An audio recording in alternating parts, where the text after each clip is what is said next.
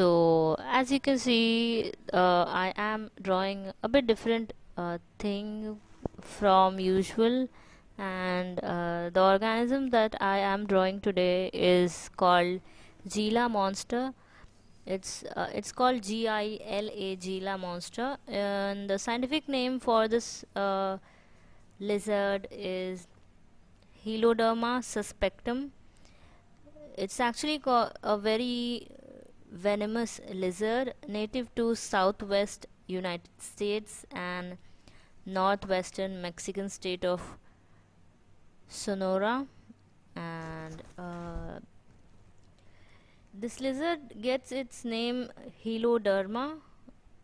Uh, so Heloderma in ancient Greek actually means studded skin. So uh, studded skin uh, that actually means the head of a nail or a stud and derma means skin. So their skin texture actually looks like the head of a nail or a stud. So uh, that is a very significant feature that you'll see in these Gila monster. And uh, these Gila monster come under the category of uh, nearly threatened species and is protected under the state law in Arizona.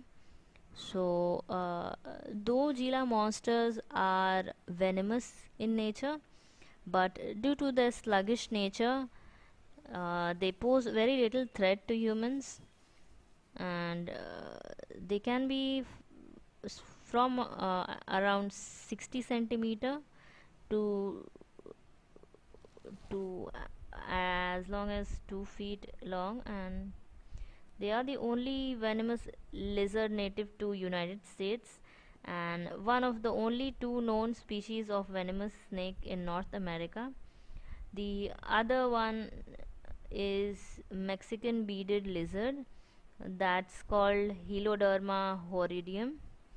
I know I'm sounding quite scientific but it's actually a fact and I really like knowing about animals I draw so that is one thing. And uh, moving on with the concerns of animals I feel like spreading awareness and knowing about creatures actually can help in bringing awareness amongst people.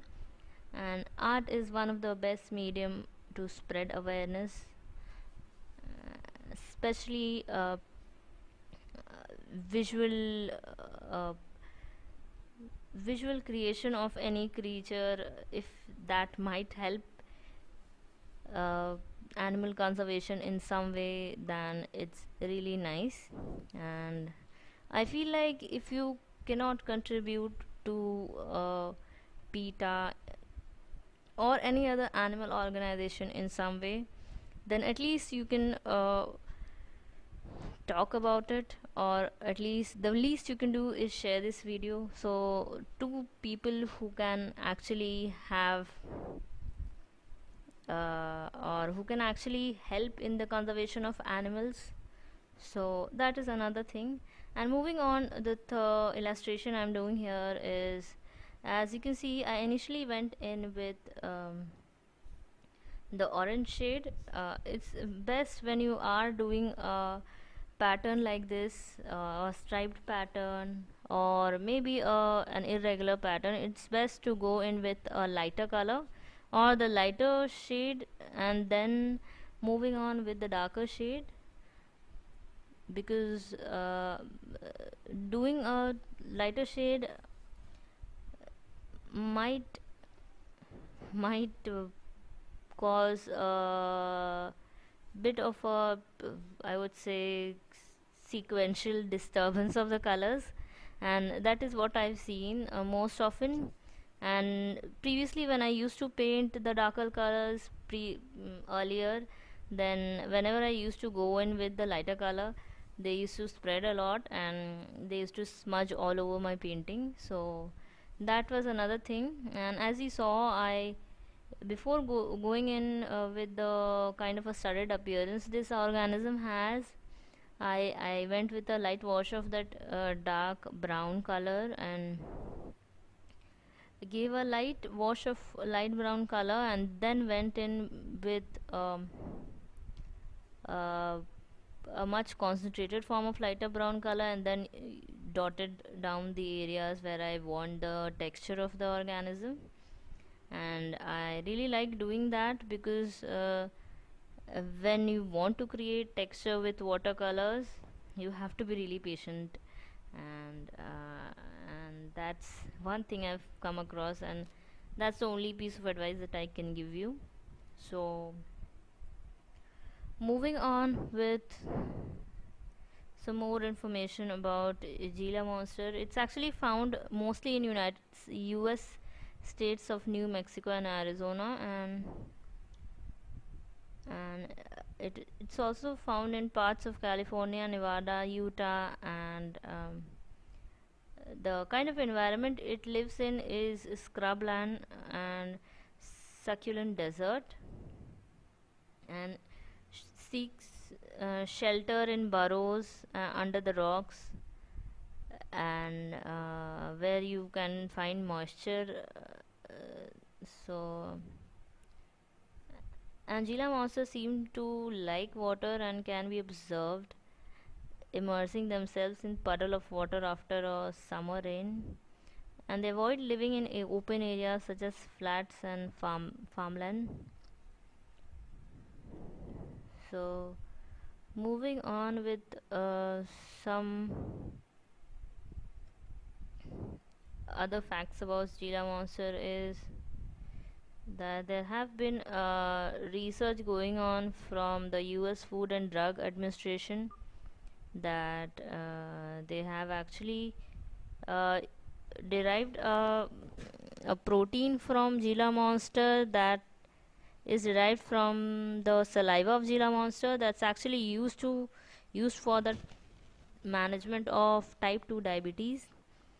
And uh, that protein is actually called uh, exendin exendin 4 and the drug that was actually approved by FDA was actually known as X Xnet uh, I'll, I'll, I'll, I'll just uh, spell out the words.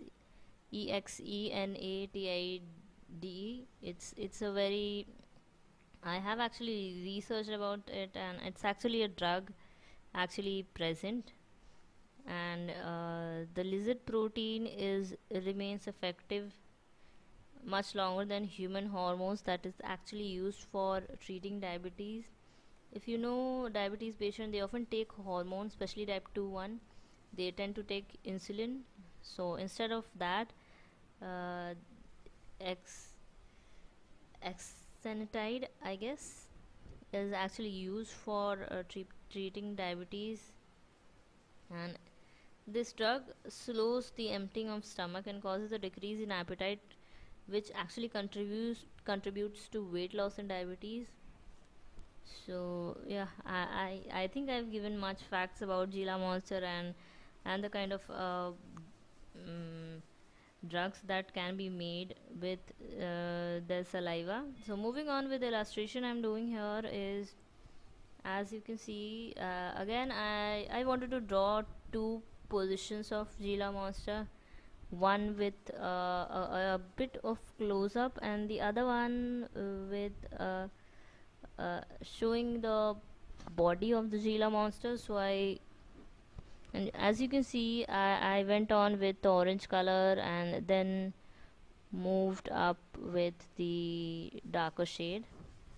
And uh, I, I, think uh, you'll find this piece of advice very helpful because uh, it has helped me a lot. Uh, I, I often used to do darker colors earlier and and this technique is quite useful when you are painting uh, organisms with darker color. And Gila monsters are actually have actually have a very dark uh, black shade but uh, if I would have painted black shade the eyes and nose of the Gila monster would not have shown up on the camera and moreover I didn't want to paint it a darker shade of black. Uh, and so I just uh, went on with a dark brown color and mixed a little bit of black with it and went on with it. And you can see I am dotting those uh, dots brown dots and it's spreading. It's because I intentionally wanted that those dots to spread. And I have kept those areas wet. So wherever you want your dots to uh, uh, have a texture as well as uh, spread a little you can leave that area a bit wet. And it does the work very well of giving texture. And that this one thing I've noticed that uh, I have been using pan watercolors uh, I mean those watercolor that come in pans rather than tubes. I I've often I'm often often used to using that. So that's the reason why I I, don't uh, tend to move towards tube colors. So moving on with the thing which I'm doing here is I have actually taken this acrylic. It's burnt sienna color from a Fevicryl and I've taken the black color from the watercolor pan and I've mixed it up and I'm using it for the bushes. And uh, as I didn't find my black color I don't know where I placed it but I wanted to use that black acrylic along with this burnt sienna but then I had my watercolor set so I just uh, wanted to use a little bit of black. So I just took it from the watercolor set and then moving on with the rock uh, that I wanted to portray along with this Gila monster. So Mexican area uh, have a sort of a reddish and brownish toned uh, rocks. And you'll see most of the pictures of Gila monster uh, standing in a kind of a reddish brown uh, uh, stones and uh, sand area so that is why I felt like burnt sienna especially the acrylic one would be perfect for creating textures and and that kind of a desert like vibe. And i i am very uh, like uh, i am liking the way i'm using acrylic these days. And as you can see uh, i'm using a dry brush technique uh, and uh, since the burnt sienna has a bit of a yellow undertone so wherever i want to give it a desert like feel i am spreading and diluting the acrylic paint and just spreading it with my dry brush. I'm not using much water. And uh, wherever the places where you can see uh, yellow is where I'm diluting it but not with more colors. Like as you can see and I just wanted to give it a nice uh, textured feel to the surroundings of Gila monster. That's why I went in with a dry brush. And as you can see flat brush creates a very nice texture. And uh, you can use this technique into any area where you want texture. And I really wanted to portray that into my piece here so I just went in with uh, just uh, not exactly eyeballing my uh, colors and just be careful with the places where you want to outline the creature because that might mess up if you are doing background after drawing your creature. So just be careful with that and uh, I'm just using the so, uh, moving on with the next color I'm taking a little bit of dark green color and lemon yellow and mixing it up in a plate and using it for making just leafy textures around the bushy branches as uh, deserts don't have don't really have plants there. They do have shrubs so I just wanted to give this uh, uh, leaves a kind of a texture so I just went on with a dry brush and used it directly used acrylic for making leaves so moving on with some facts about this lizard I uh, and uh, I've heard that it's from 1952 these um, lizards have been listed under nearly threatened species under IUCN. IUCN is an organization for animal conservation. And uh, I I've read it somewhere that it in San Diego Zoo it's actually conserved and bred in captivity since they are under a, a very threatened species. And moving on with the illustration I'm doing here is uh, I'm using a Sakura micron pen for actually defining the line work and artwork as you can see because it was looking like a mess and uh, I felt like it was looking like uh, was not looking defined as much as I wanted it to be. So I just went in with the Sakura micron pen and it just uh, was uh, really nice and it felt like uh, my piece was getting all put together and yeah I, I really like the way it works so. And because of its venomous nature sometimes they often kill, get killed by uh, local people uh, living around Mexico and Arizona. I feel like organisms like these these uh, lizards don't really get the limelight of getting drawn by an artist and I feel like people often portray them as ugly. So I just felt like they should be drawn into and they should be they should be known to the people in general because uh, I've seen many people not knowing about animals and and uh, some animals have uh, very nice property and uh, they are being actually being used for our well-being for making uh, infinite amount of medicines and uh, especially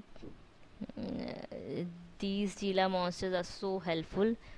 So one thing i would like to say that if you are not willing or, or if you don't have the uh, finances to actually help out PETA or any other animal organization. You can simply share this video to people who can actually uh, actually help in animal conservation by contributing to them. And uh, yeah. So that would be very helpful. And people who like knowing about animals in general is really nice. I felt like sharing some light and knowledge about this creature would be really helpful. So yeah. So i was very happy with this piece and uh, that's my final piece. I hope you guys like this uh, way i have mixed up my watercolors with acrylic. I will be using uh, this kind of uh, appearance in uh, my upcoming videos too. So stay tuned for more tips and tricks and I do share some hacks too uh, in some of my videos so just uh, be aware of that and if you are not subscribed to my channel do do subscribe and uh, to have a close-up look at my drawings you can simply check out my instagram page and I'll see you in my next video and for people who are new to the channel uh, you can definitely uh, uh, click the bell icon beside the subscribe button and you'll get notified every time I uh, put up a video. So yeah. That was the final piece. I was really happy with it and thanks for watching and thank you to all my subscribers who are subscribed to this channel. Yeah bye bye and see you in my next video